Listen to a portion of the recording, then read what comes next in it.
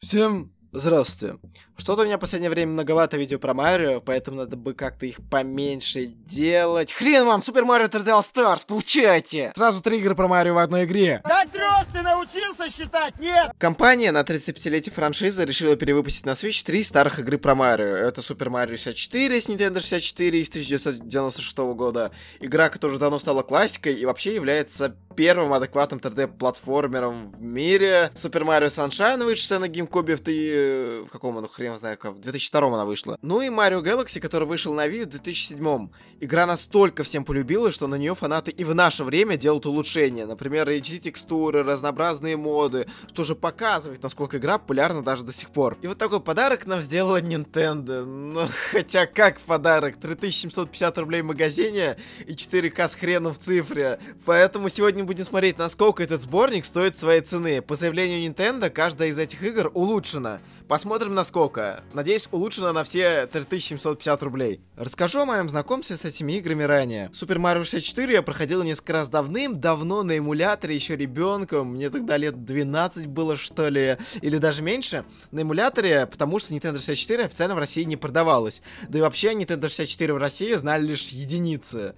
Хотя ладно, тут я приукрасил, на самом деле никто не знал. Да и даже если бы продавалась, то у меня бы из финансовой стороны в 12 лет ее не было. Ну, короче, вернемся к кролику. В Mario Galaxy я сыграл на года три позже, но все равно поиграл, прошел. Отличная игра, ничего не скажешь. А вот в Mario Sunshine я вообще не играл. Впервые попробую его именно в этом сборнике. Вот такой вот сборник, три игры и саундтреки из них. Начнем с Super Mario Sunshine. В эту игру я не играл вообще. Но так как мне нужно шарить Nintendo хотя бы из-за канала, то я хорошо знаю, о чем эта игра, что в ней было, как она работала, и прямо сразу могу сказать, что в ней точно не было. Во-первых, игра все так же идет 30 FPS, как на GameCube. Ну, я поиграл этот порт Mario Sunshine, и мне есть что про него сказать. Об игре, то это игра про то, как Марио отмывает говно. И нет, это не унылая была шутка, чтобы там повеселить, ахаха, говно, смешно. Типа нет, показываю наглядно. В этой игре реально отмываешь говно. Как бы к Марио прицепили водяной насос, и ты должен с помощью него взаимодействовать с миром. Не знаю, насколько эта игра качественная в то время была, и как ее, насколько качественно ее считают, но я уже на первом уровне столкнулся с двумя неприятными багами. Вот, например, я не могу залезть на водяное колесо. Я просто прохожу сквозь него. И чтобы мне через него пройти, мне пришлось отбежать, чтобы там как-то коллизия восстановилась и уже запрыгнуть на него. Ну да ладно, я все же смог залезть, но все же разочаровало. Но больше расстроил баг, когда я решил проверить, что Марио может сделать с этим усатым толстяком, и в какой-то момент меня просто кинуло сквозь решетку и застрял там навсегда. Э, пришлось перезапускать уровень. И это я увидел в начале игры, и учитывая, что как бы даже в Марио 64 я не сталкивался с таким количеством багов, ну, такое. И вообще сама игра какая-то скучноватая мне показалась. Тебя постоянно заставляют прыгать по одним тем же платформам, бегать по одному и тому же уровню. Хотя, если Mario 64 это как-то весело, то здесь вообще как-то не весело. Мне еще не нравится этот эффект, когда все вокруг плывет. Как я понимаю, это типа жара, но что-то он меня прям бесит. Не знаю, это моя, может, личная проблема. В общем, порт хороший, на самом деле. В порте растянули рамки 4 на 3 до 16 на 9. Сделали игру Full HD. Единственное, чего не хватает, это 60 FPS. Тут прям объясню, почему не хватает. В самой игре Марио медленно бегает по уровню своим насосом, и 30 FPS вполне достаточно. Но когда тебя бросают на классический 3D уровень а-ля Mario 3D World, то там прям чувствуется нехватка кадров, плюс платформик в игре какой-то странный. Я несколько раз умирал на этом уровне, потому что если ты нажимаешь прыжок на краю платформы, то Марио не прыгает и скользит вниз. Тебе нужно нажать прыжок ближе к середине. У меня неоднозначные чувства к этой игре, вроде бы красиво, новые механики, с другой стороны, с первого уровня меня заваливают багами, и игра сама по себе ощущается медленной и скучной. Ну, я знал, что эта игра спорная, но не понимал, почему. Теперь понимаю. А купила ли эта игра одну треть стоимости сборника? Ну, сам порт вроде хороший, 1080, это все, но 30 FPS с кривостью самой игры, конечно, расстраивают. Думаю, что эта часть прям окупила свою часть сборника. Так, наполовину. Посмотрим, что там еще есть. На очереди Mario Galaxy и Super Mario 64. Начнем с Mario Galaxy, пожалуй. Одна из самых известных 3D игр про Марио, и посоревноваться в этом титуле с ней может лишь Mario 64, наверное. В этой игре на то время революционно было то, что мы бегали по планетам собственной гравитации, и игра при этом очень красиво выглядела. Плюс очень много геймплейных фич на то время не давали игрокам заскучать. Игра выглядит хорошо даже сейчас, не говоря уже про 2007 год. Играли в нее тогда в 480p, сейчас же в сборнике она лучше до Full HD. Хотя Хотя кат-сцены в игре остались уж точно не Full HD, но такое ощущение, что их все равно улучшили фильтрами. В этой игре достаточно качественные анимации, модельки и многое другое. Настолько качественные, что вы где-то Mario Galaxy в 1080 сейчас, то вы бы даже не подумали о том, что это какая-то старая игра. Так как игра выходила на консоль Nintendo Wii, управление курсором в игре осуществлялось пультом. А как же быть со свечом, если, например, свич у тебя в док-станции, в руках только один геймпад?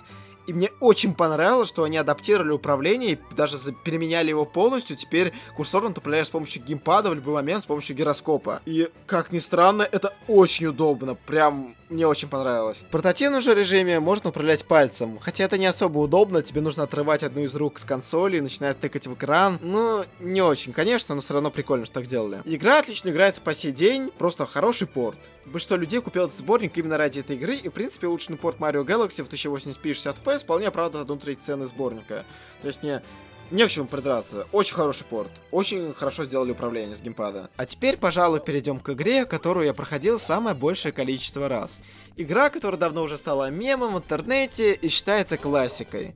Как же я говорил, это самая первая попытка сделать полноценный 3D-платформер с неким открытым миром. Сама игра не идеальна, но как сам первый 3D-платформер совсем неплоха, раз люди играют в него до сих пор. Ну что ж, насколько Nintendo улучшила эту игру в сборнике? Посмотрим. It's me, Mario!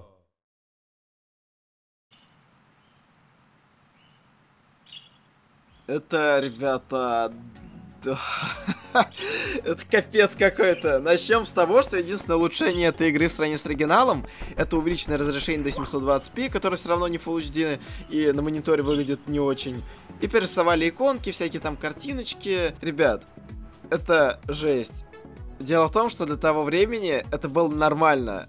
Но раз игры пытались улучшить в этом сборнике, то просто необходимо сделать было хотя бы 16 на 9 эмулятор уже давно-давно умеет запускать Mario Full HD 60 FPS 16 на 9.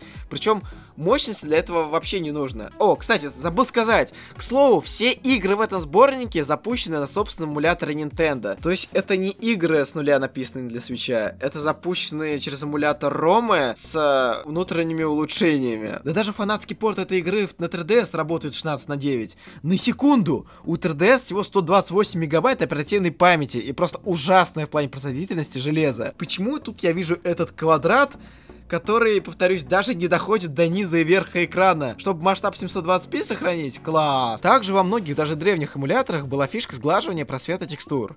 Здесь этого нет. Вот просто посмотрите на эту гору.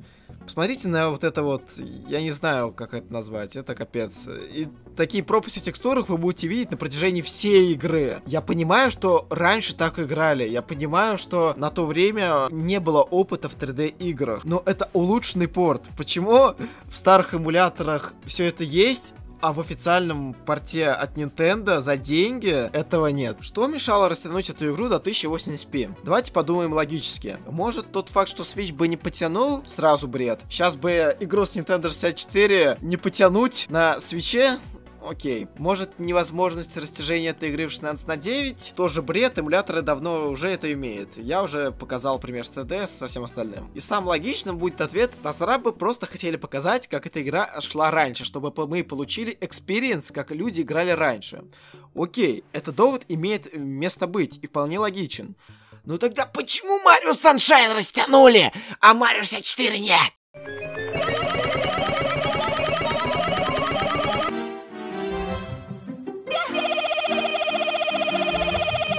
Меня просто не осталось ни одной догадки, почему так. Ладно, 30 FPS, хрен бы с ним, игра вполне себе хорошо играется и в 30 FPS. И, хотя любой древний эмулятор уже может 60 FPS даже больше, но пофигу. Почему даже дистанцию прорисовки объектов не повысили? Но они же залезли в ром игры, перерисовать иконки, поднять разрешение, еще какую-то фигню сделать. Почему бы не увеличить дистанцию прорисовки объектов? Ну вот смотрите, враги и монеты прорисовываются практически вплотную к Марио. Это особенно бесит, когда тебе, например, нужно запустить поместить себя в точно в круг из монет, а ты их не видишь, потому что они банально не прорисовываются. Могли бы сделать так, чтобы Марио не становился куском полигона в паре метров от камеры, например, еще. Могли же сделать, это улучшенный порт. Это на 64 Nintendo, надо было память экономить, надо, потому что вообще не особо много было ресурсов. Но здесь-то почему бы это не улучшить? Да и почему в самом начале заставки даже нам показывают эту игру в широком формате? Чтобы поиздеваться, что ли? Я не пойму. И это все дополняет тот факт, что ранее выходила игра Super Mario All Stars на SNES. Вышла она в 1993 году, и там все игры полностью переделаны. Изменены спрайты, фон, переписана музыка, вообще разные игры, просто с тем же уровнем. И потом выходит сборник почти с тем же названием, и в нем мы видим это. Я не прошу улучшать текстуры, хотя на самом деле любой графодрочер бы умер, увидев, например, этот уровень. Я не прошу исправлять кривость управления или самой игры. Например, вот я просто иду, да, и... Ну, вы поняли.